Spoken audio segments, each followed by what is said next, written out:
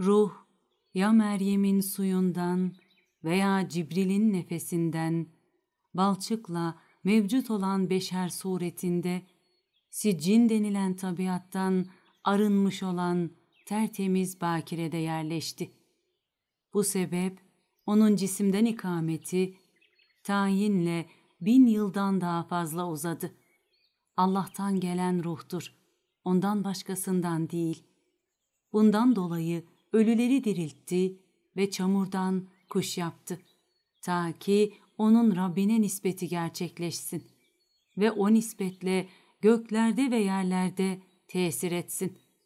Allah onun cismini temiz ve ruhunu nezih kıldı ve yaratma işinde onu kendisine benzetti. Bil ki ruhların hassası herhangi bir şeyle ilgilenirlerse onu diri kılmak ve onda hayatın yayılmasına sebep olmaktır. Bunun için Samiri, meleklerin Resulü olan Cibril'in eseridir. Cibril de ruhtur. Bir avuç toprak aldı. Samiri bu işi biliyordu. Meleğin Cebrail olduğunu anlayınca onun temas ettiği şeyde muhakkak hayat yayıldığını keşfetti. Bu keşif neticesinde avuç dolayısıyla yahut parmaklarının ucuyla Cibril'in geçtiği izden bir miktar toprak aldı. Onu buzağı heykelinin içine attı. Buzağı böğürmeye başladı. Çünkü sığır suretinden çıkan ses ancak böğürmektir. Eğer yaptığı heykelin şeklini başka bir surette yapsaydı, onda bu surete mahsus olan ses çıkardı. Nasıl ki deveden homurdanma, koçtan gümbür deme, koyundan meleme sesi geldiği gibi insandan da insan sesi ve konuşma işitilir.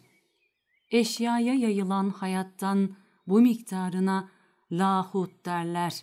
Nasutsa bu ruhun kendisinde bulunduğu yerdir. Şu halde İsa ile birlikte olan Nasut'un adına ruh denilir. Cebrail aleyhisselamdan ibaret olan Ruhul Emin insan suretine girdi. Meryem onu insan zannetti. Kendisiyle birleşmek istediğini sandı. Şu hal karşısında Allah'ın kendisini bu tecavüzden kurtarması için yalvararak ona sığındı. Çünkü Meryem bunun uygunsuz işlerden olduğunu bilirdi. Bu takdirde ona Allah'la tam bir huzur hasıl oldu ki o da manevi olan ruhtur. Eğer Meryem'e bu vakitte ve bu hal üzere üflenmiş olsaydı, İsa annesinin bu ruhi durumundan dolayı hiç kimsenin takat getiremeyeceği çirkin bir yaratılışta doğardı. Halbuki Cebrail ona, ben senin Rabbinin elçisiyim, sana temiz ve salih bir oğlan bağışlamak için geldim. Meryem 19 dediği vakit Meryem bu sıkıntıdan kurtuldu, gönlü açıldı. Cebrail de İsa aleyhisselamı ona bu neşeli an içinde üfledi. Şu halde Cebrail Allah'ın kelimesini Meryem'e nakletti. Nasıl ki peygamber de Allah kelamını ümmetine nakleder. Bu hakikat Allah'ın Meryem'e gönderdiği kelimesi ve ondan bir ruhtur. Nisa 171 ayetiyle de gerçeklenmiştir. Meryem'de şehvet yayıldı. Şu halde İsa'nın cismi Meryem tarafından muhakkak sudan, Cebrail tarafından da bu üflemenin rutubetinde yayılan mevhum sudan yaratıldı. Çünkü canlı bir cisim tarafından olan üfleyiş, içinde su buharı mevcut olmasından dolayı rutubetlidir. Bu takdirde İsa'nın bedeni hem gerçek sudan hem de mevhum olan sudan meydana geldi. İnsan nevinin yaratılışı adet gereğince olmak için bir anayla bir babadan türemesi lazım olup o da Meryem'den ve Cebrail'in insan kılığına girmesinden insan şeklinde doğdu. Bu doğuşuyla da ölüyü diriltici olarak çıktı. Çünkü o ilahi bir ruhtur. Bu ölüyü diriltme işinde can vermek Allah'tan ve üflemek İsa aleyhisselamdan oldu. Nasıl ki kendi yaratılışında da üfleme Cibril'den ve kelime Allah'tandı. Şu halde İsa'nın ölüyü diriltmesi, onun üflemesinden beliren şey dolayısıyla muhakkak bir diriltmeydi ve yine onun diriltme mucizesi kendisinden olduğu zannedilmiştir. Ama bu Allah'tandı. Bu takdirde de o yaratılışının sebebi olan kendi hakikati cihetiyle biz onun muhakkak suyla mevhum sudan olduğunu yukarıda söyledik. Muhakkak diriltmeyle mevhum diriltmeyi birleştirdi.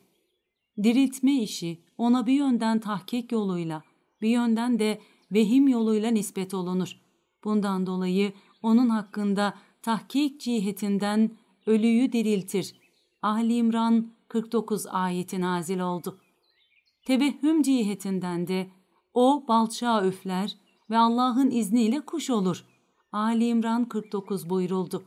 Böyle olunca ayette harfi cer, mecrur olan Biznillahi Teala izniyle üfler terkibinde amil olan yekûnu yani olur kelimesidir. Burada amilin üfler fiili olması ihtimali de vardır. O halde Hz. İsa'nın çamurdan yapmış olduğu şey, histe mevcut olan cisminin sureti cihetinden kuş olur. Keza anadan doğma körleri ve alaca hastalığını iyileştiririm mealindeki ayetten anlaşıldığına göre Hz. İsa'nın nefese ve Allah'ın iznine bağlı olan sözleri hep tahakkuk ve tevehhüm üzere söylenmiştir. Buradaki Allah'ın izniyle sözü üfler fiiline bağlı olunca üfleyen üfleme işinde mezun kılınmış olur. Kuş da Allah'ın izniyle üfleme tesiriyle meydana gelir. Üfleyen eğer izinsiz üfleyecek olursa burada tekvin işi uçan kuş için olup yine Allah'ın izniyle uçar. Şu halde bu ibarede amil olur fiilidir. Eğer muhakkak emirde tahakkuk ve tevehhüm birlikte olamasaydı, bu suret bu iki tevili kabul etmezdi. Belki bu meselede iki vecih vardır ve İsa'nın yaratılışı da bu neticeyi verir. İsa aleyhisselam ümmetine cizyeyi peşin vermek hususunda itaat göstermelerini ve birinin yanağına bir tokat vurulursa bu tokatı vuran kimseye öteki yanağını da çevirmesini, ona karşı gelmemesini, ondan kısas istememesini bir şeriat olarak tavsiye etmeye varıncaya kadar yüksek bir tevazuyla geldi. Bu gönül alçaklığı onu annesi tarafındandır. Çünkü kadının yaratılışında alçak gönüllülük duygusu vardır. Bu hale göre de onun için tevazu sabittir. Zira o hükümde ve histe, erkeğin altındadır. İsa aleyhisselamda ölüyü diriltme ve hastalara şifa verme hususunda sabit olan kudret, insan şeklinde görünen Cebrail aleyhisselamın üflemesi cihetindendi. Demek ki İsa aleyhisselamda insan suretine bürünmüş olduğu halde ölüyü diriltir. Eğer Cebrail Meryem'e insan kılığında gelmeseydi, hayvan veya nebat şeklinde yahut cansız mahluklardan birinin suretinde gelseydi, İsa aleyhisselam elbette ölüleri diriltemezdi. Ancak Cebrail suretine girdiği ve onun suretinde belirdiği anda diriltme kudretini gösterebilirdi.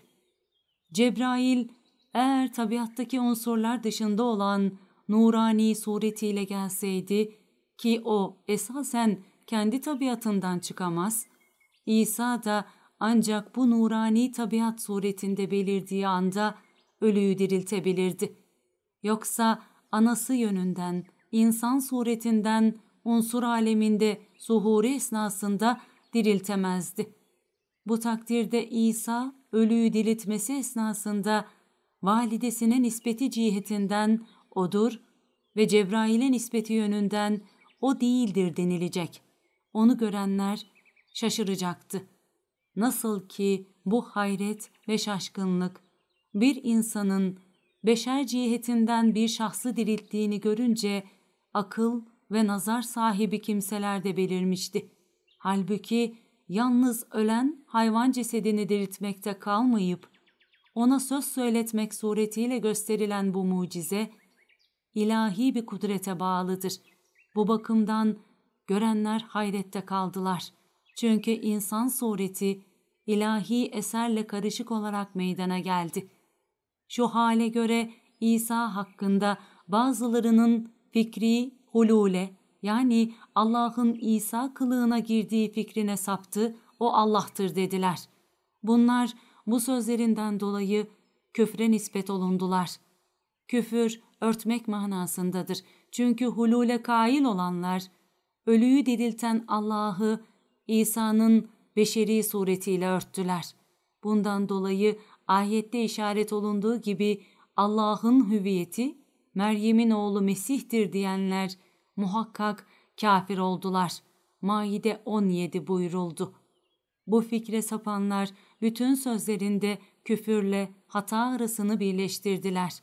Yalnız o Allah'tır sözleriyle değil, Meryem'in oğlu sözleriyle de değil. Şu halde onlar Meryem'in oğlu demekle İsa'yı ölüyü diriltmesi bakımından nazara alarak Allah'tan beşer suretine döndüler ve Allah'ı o suretin içine soktular. Halbuki İsa şüphesiz Meryem'in oğludur. Böyle olunca işitenler sandılar ki onlar Allah'lık vasfını surete nispet ettiler ve onu suretin aynı gibi bildiler. Fakat onlar bunu yapmadılar. Belki Allah'ın hüviyetini önce insan suretine soktular ve o Meryem'in oğludur dediler. Bu sözleriyle suretle hüküm arasını ayırdılar.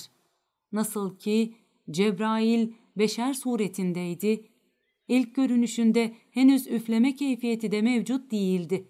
Sonradan üfledi. Bu takdirde Cebrail suretinin görünmesiyle üfleme arasını ayırdı. Üfleme suretten meydana geldi. Demek oluyor ki henüz üfleme yokken suret vardı. Şu halde üfleme suretin aslı ve kendisi değildir. Bu sebepten dolayı İsa hakkında milletler arasında acaba o kimdir diye ayrılık baş gösterdi.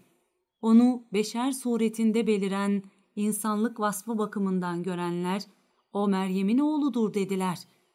İnsanlığa temessül etmiş olan sureti bakımından görenler de onu Cebrail'e nispet ettiler. Ölüyü diriltme cihetinden onda beliren kudrete şahit olan kimse, onu ruhi bir varlık olarak Allah'a nispet eder. O ruhullah'tır der. Yani üflediği ölüde hayat. Bu ilahi ruhla aşikar oldu. Şu halde bir vakit hak İsa'da gizlenmiş sanılır. Bir vakitte meleğin onda bulunduğu zannedilir. Bu haliyle her görenin kuvvetle zannettiği gibi görünür. Şu halde o Allah'ın kelimesidir ve o ruhullah'tır. Yine o Allah'ın kuludur. Çünkü insanlara ait olan bu his alemindeki suretler için bundan başka ihtimal yoktur. Belki her şahıs surette babası olan kimseye nispet edilir. Yoksa beşer suretinde ruhunu üflemiş olana nispet edilemez.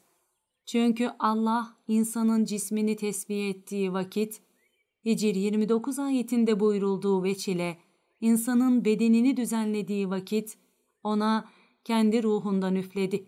Şu halde insanın yaratılışında ve belirmesinde ruhu kendisine nispet etti. Halbuki İsa böyle değildir. Çünkü onun cesedinin ve beşeri suretinin düzenlenmesi ruhun üflenişinde gizlenmişti. Bundan başkası yukarıda söylediğimiz gibidir. İsa'nın doğuşuna benzer başka bir doğum olmadı. Varlıkların hepsi sonu olmayan Allah'ın kelimeleridir. Çünkü onlar ol emrinde meydana gelmiştir. Kun yani ol ise Allah'ın kelimesidir. Şu hale göre kendisine mevcut bulunması bakımından kelime Allah'a nispet olunur mu? Nispet olunsa bile onun iç yüzü bilinmez. Yahut hakkın mahiyeti kün diye bir surete mi indi? İş böyle olunca da o surete inerek onda belirmesi dolayısıyla o suret için kün sözü gerçekleşir. Bu hususta ariflerin bir kısmı taraf, diğer bir kısmı da başka bir tarafa gider. Bazıları da işte hayrete düşer ve bilmez.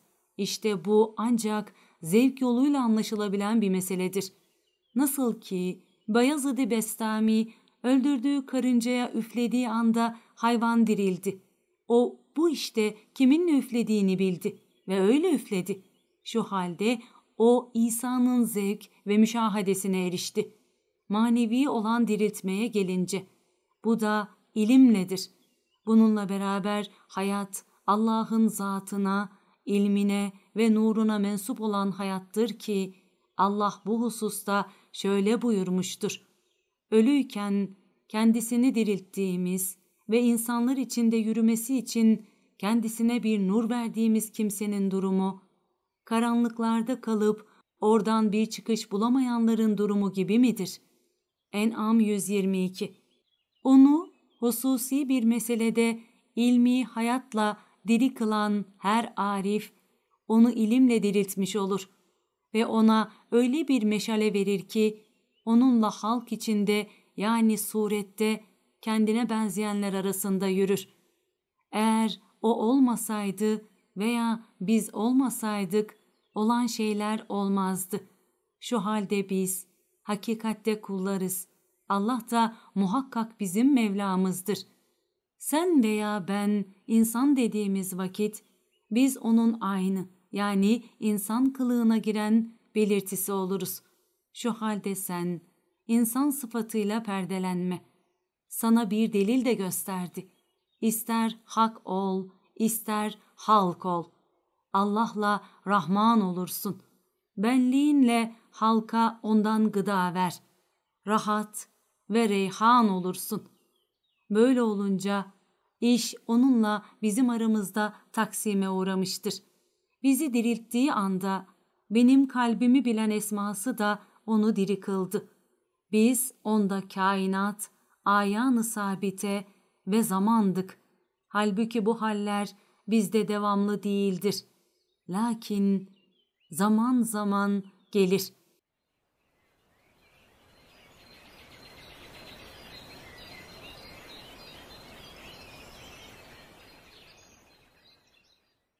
Unsurlardan birleşmiş olan beşer suretiyle ruhi üfleme işinde yukarıda bahsettiğimiz hakikate delalet eden bir tanıkta Hakk'ın kendisini rahmani nefesle vasıflandırmasıdır.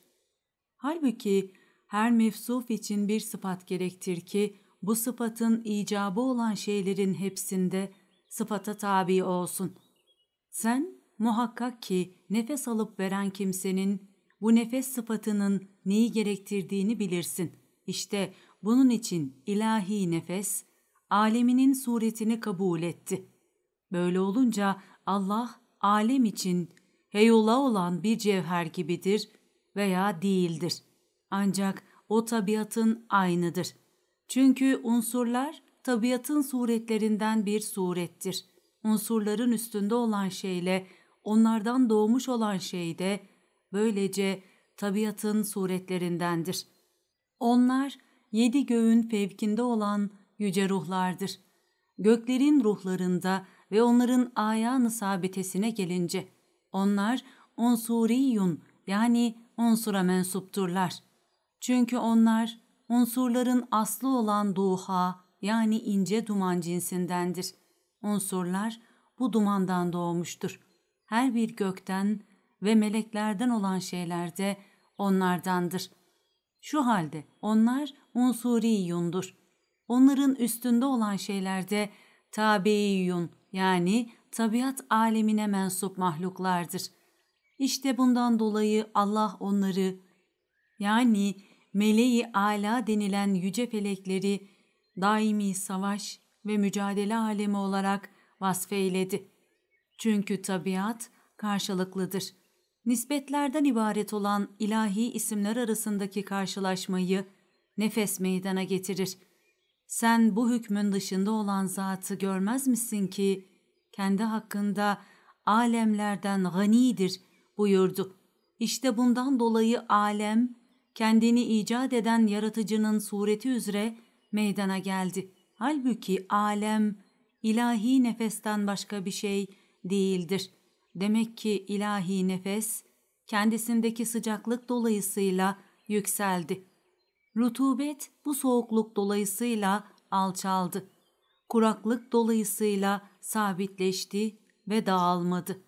O halde rüsub yani tortu bırakmak, soğukluk ve ıslaklığın icabıdır. Hekimi görmez misin ki bir hastaya ilaç içirmek dilediği vakit onun idrar şişesine bakıp idrarda tortu görünce idrar çıkışının tam olduğunu anlar. Onu çabuklaştırmak için hastaya ilaç içirir. Şişenin dibindeki tortu ancak tabii rutubet ve soğukluktan dolayı çöker. İlahi nefes bu şekilde yayıldıktan sonra Allah insan denilen şahsın çamurunu iki eliyle yoğurdu. Bu ellerse karşılıklıdır. Her ne kadar Allah'ın iki eli de sağsa da aralarındaki fark gizli değildir. Onlar ancak iki el oldu. Tabiatta ancak kendisine münasip olan şey müessir oldu. O da karşılıklıdır. Bu itibarla Kur'an'da Allah, iki elimle yaratacağım. Saat 75 buyurdu. İnsanı ilk eliyle icat edince onun mertebesine layık olan bu işe mübaşeretten dolayı ona beşer adını verdi ve bu şerefi insan nevine kendi inayeti olarak verdi. Bu hale göre ona secde etmekten çekinen iblise, iki elimle yarattığım mahluka, secde etmekten seni hangi sebep men etti? Büyüklendin mi yoksa unsurların en yücelerinden misin? Halbuki sen böyle değilsin, dedi. Allah burada unsurların en yücesi tabiriyle, nurdan ibaret olan menşei her ne kadar tabii ise de, unsiri olmaktan zatıyla üstün bir durumda olan mahluku kasteder. İnsan, unsura mensup olan mahluklar arasında kendi dışında kalanlara ancak balçıktan yaratılmış beşer olmasıyla üstün sayıldı. Şu halde insan kendisinde mübaşeret fiili olmadan bütün unsurlardan yaratılmış bulunan nevin en yücesidir. Demek ki insan rütbe ve derecesi yerde ve gökte yaşayan meleklerin hepsinin üstündedir. Yüce meleklerse ilahi nas ile bu insan nevinden hayırlıdır. Şu halde Allah'ın nefsini bilmek isteyen kimse alemi bilmelidir. Çünkü nefsini bilen, nefsinde beliren Rabbini de bilir. Demek oluyor ki alem, Allah'ın ilahi isimleriyle boşalttığı bir soluktan zahir olmuş ve kutsi nefesin zahir olmamasından dolayı bulamadığı şeyi onun zuhuruyla bulmuştur. Böyle olunca kendi nefsinde soluğunu icat etmekle yine kendi nefsine minnet ve teşekkür duydu. Şu halde nefesin ilk eseri yine Allah'ta belirdi. Ondan sonra da iş son varlığa dayanıncaya kadar hep isimlerdeki zuhur sıkıntısını gidermek için nazil olarak zail olmadı. Nefesin aynında olan her şey, gece karanlığının sonundaki aydınlık gibidir. Delil ve buhrana dayanan bilgi gün sonunda uyuyan kimseye mahsustur. O kimse bu söylediğim hakikati ilahi nefse dalalet eden rüya sanır. Abese suresini okuyarak her sıkıntıdan kurtulur. Ateş dileyerek gelen kimseye Musa'ya muhakkak tecelli etti. Gören zat da onu ateş kılığında gördü. Halbuki o yerde de gökte de nur idi.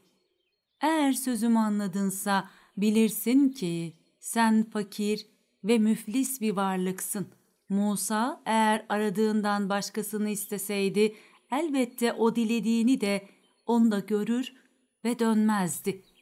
Ama bu İsevi hikmet hak için ta ki bilelim yani imtihan edelim makamında oldu. İsa'ya nispet olunan şeyden ilk bilgisiyle beraber o doğru mudur yoksa değil midir, bu iş oldu mu yoksa olmadı mı diye sordu ve buyurdu ki beni ve anamı Allah'tan ayrı iki ilah tanıyın diye halka sen mi söyledin? Maide 116 Şu hale göre kendisinden sual sorulan kimse için edep gereğince cevap vermek düşer. Çünkü Allah İsa'ya makamda ve bu surette tecelli etti. Hikmet, birlik ve ayrılık makamlarında cevabı gerektirdiği gibi İsa seni tenzih ederim diye söze başladı ve tenzihi ilk önce getirdi. Bu sözünü karşılıklı konuşmanın gerektirdiği senle tahdit ederek söyledi. Bana yaraşmaz. Ki sensiz nefsim için benliğim yönünden hakkım olmayan şeyi söyleyeyim, dedi. Yani benliğimin ve zatımın gerektirdiği şeyi söylemiş olayım. Eğer ben onu söyledimse mutlaka bilirsin. Maide 116 Çünkü söyleyen sensin. Bir şey söyleyen kimse muhakkak ne dediğini bilir. Sen benim konuştuğum lisanın aynısın. Nasıl ki Hz. Muhammed Aleyhisselam ilahi haberlerden olan hadiste bize Rabbinden haber vererek ben onun konuştuğu dili olurum buyurdu. Bu takdirde Allah kendi hüviyetini konuşan kulunun dili yerine koydu. Konuşmayı da kuluna nispet etti. Sonra salih kul sen benim nefsimde olan şeyi bilirsin. Bense onda olanı bilmem sözüyle cevabını tamamladı. Bu hale göre Allah bilgiyi İsa'nın hüviyetinden uzaklaştırdı. Hakkın ilmi ondan uzaklaştırması onun hüviyeti cihetindendi. Yoksa onun konuşan ve eser gösteren bir kul olması bakımından değil.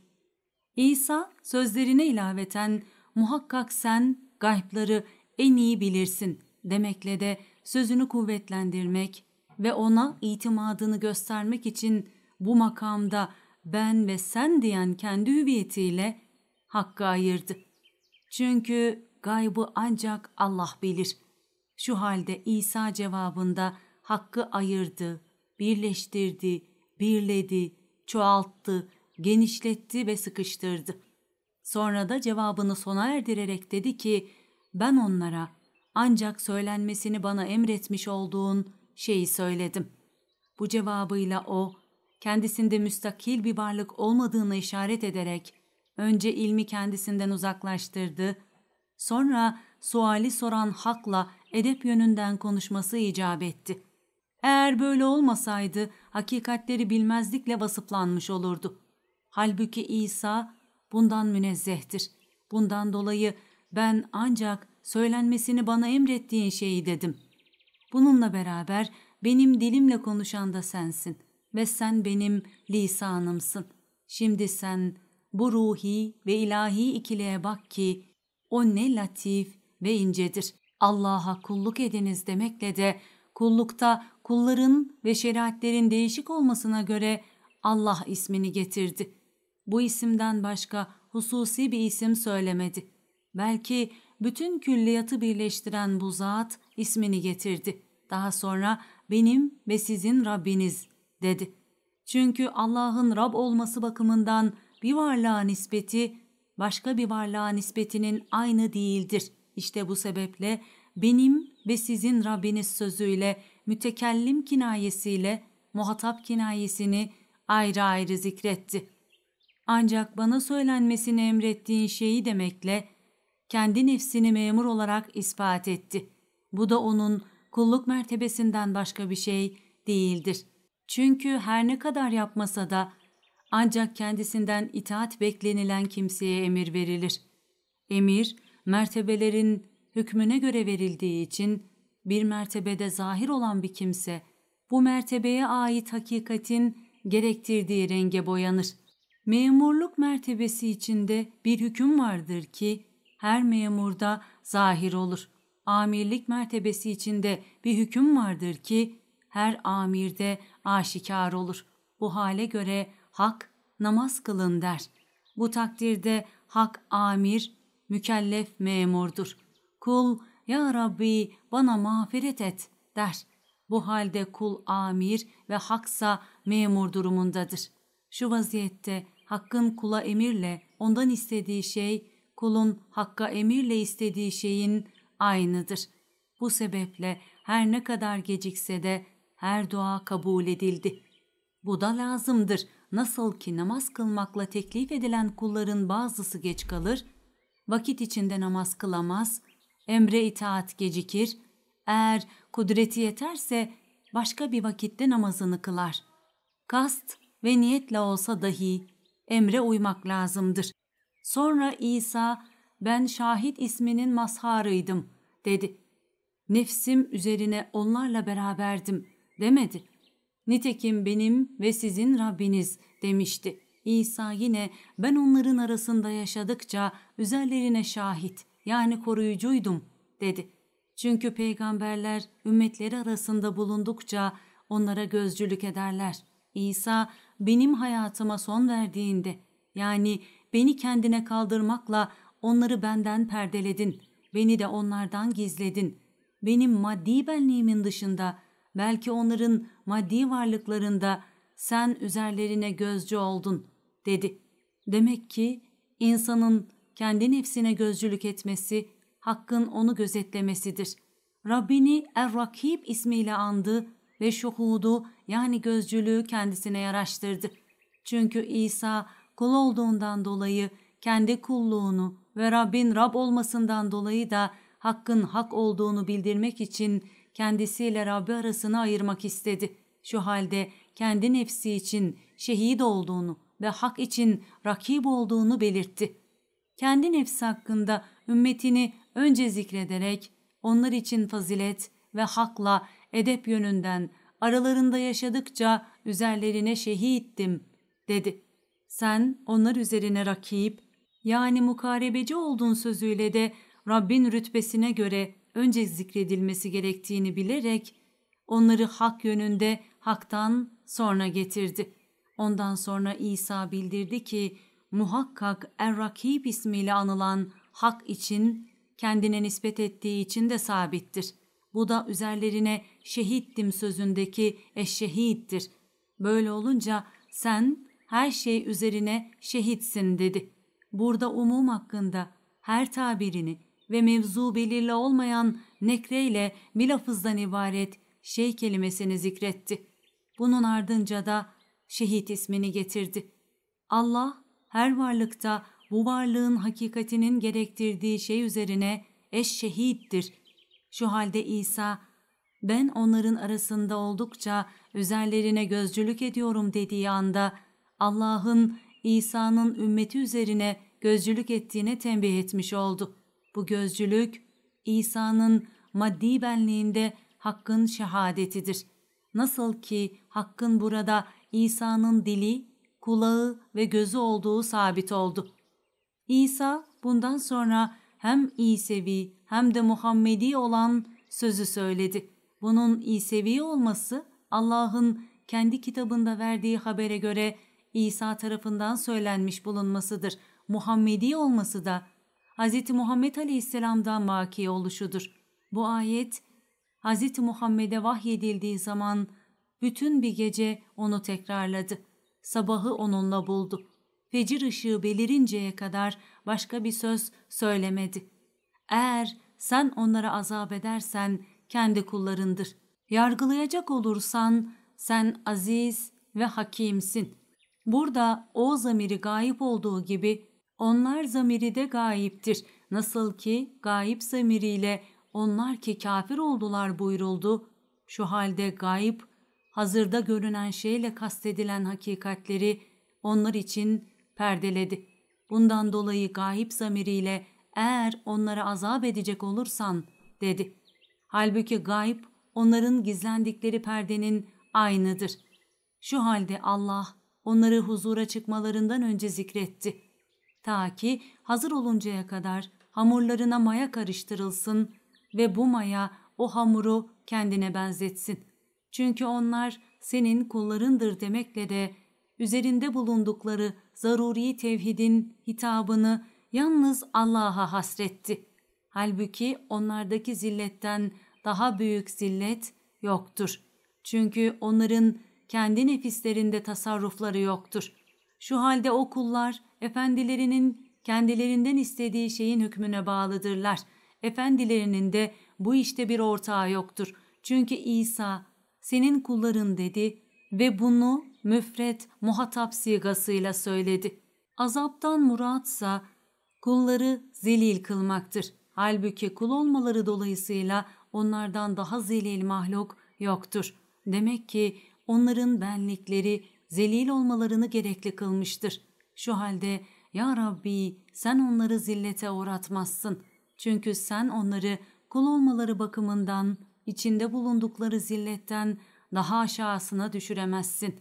Sonra eğer sen onlara mağfiret dilersen yani uygunsuz hareketleri sebebiyle müstahak bulundukları azabı onlara tatbik etmekten kendilerini örtersen yani sen onlara örtünecek bir şey ihsan edersin ki kendilerini azaptan korur ve onunla engel olur.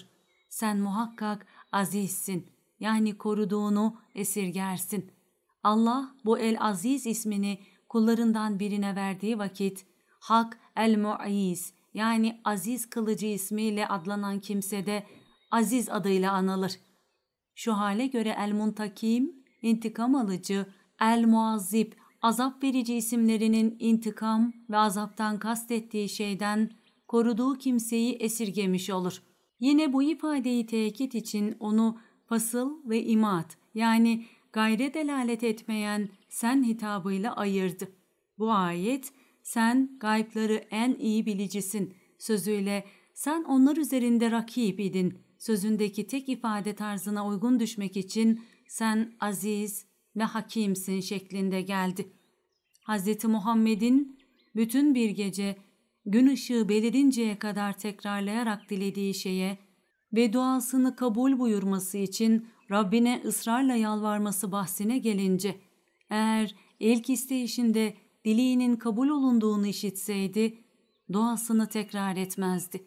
Şu hale göre Allah, günahları dolayısıyla ümmetinden azaba müstahak olanlarını bütün tafsilatıyla peygambere gösterir. Peygamber de her gösterişinde Allah'a eğer onlara azap edersen senin kullarındır, mağfiret edersen şüphesiz sen aziz ve hakimsin derdi. Eğer bu gösterişte hak kendi iradesini önceden göstermiş ve Hz. Muhammed hak tarafını tutacağı cihetle bunu görmüş olsaydı, ümmetinin lehine değil aleyhine dua ederdi. İş böyle olunca ona ancak şu hakikati gösterdi ki, onun sebebiyle Allah'a teslim olmak ve işi onun affına havale etmek hususunda ayetin kastettiği akıbete müstahak oldular. Hadiste buyurulmuştur ki, hak kendisine dua eden kulunun sesi hoşuna gidince ondan yüz çevirdiği için değil, ancak kulunu sevdiği için kabulü geciktirir ki, ta ki kul duasını tekrar etsin. İşte bunun için İsa aleyhisselam da duasında sen aziz ve hakimsin diyerek El-Hakim ismini zikretti. El-Hakim her şeyi yerli yerine koyan kimse demektir. Hakta sıfatıyla hakikatlerinin gerektirdiği ve onların istediği şeyden ayrılmaz. Şu halde El-Hakim tertibi en iyi bilendir. Hz. Muhammed Aleyhisselam bu ayeti tekrar ederken Allah hakkında büyük bir ilme sahipti. Şu halde her kim bu ayeti ve başkaca ayetleri okurken böyle okusun. Yoksa ona susmak daha hayırlıdır. Allah bir kuluna herhangi bir iş hakkında söz söylemek başarısını verdiği zaman ancak o kulunun sözünü kabul etmek ve dileğini yerine getirmekle onu o başarıya eriştirir. Şu halde hiç kimse kendisine başarı verilen işin gerektirdiği vazifeyi geciktirmesin. Hz. Peygamber'in bu ayeti okumakta gösterdiği devam ve ısrar üzere bütün hallerde devam ve sebat göstersin. Ta ki kabul olunduğunu kulağıyla yahut işitme kuvvetiyle nasıl isterse yahut Allah ona nasıl işittirirse öyle işite. Eğer dileğin seni dille mükafatlandırırsa bunu kulağınla işittirir. Şayet manayla mükafatlandırırsa manevi işitme kudretinle duyurur.